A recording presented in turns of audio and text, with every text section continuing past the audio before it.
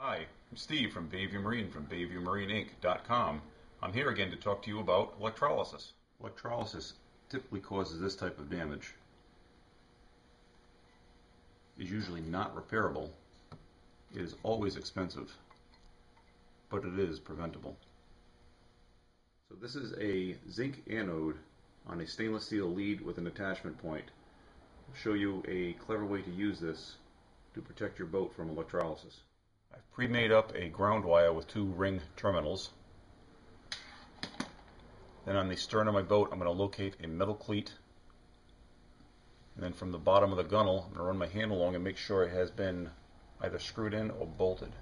I need to run a bolt through the gunnel.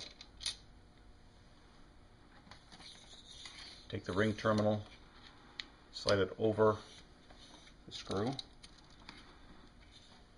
and make my connection.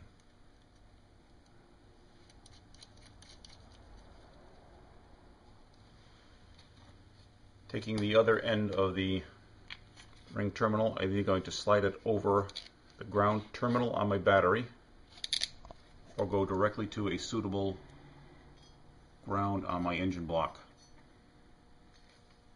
And now my system is bonded. I'm ready to attach my cable to the cleat. I'm going to take my grounding clamp and attach that also to the cleat. And now I'm ready to drop my zinc into the water. I'm going to lower my zinc in the water as close as I can to the running gear. Whether I have an outboard, an outdrive, or an inboard, my system is now protected. Find this and other boating solutions at BayviewMarineInc.com. I'm Steve. Thanks for listening. Don't forget to pull the zinc up before you leave the dock.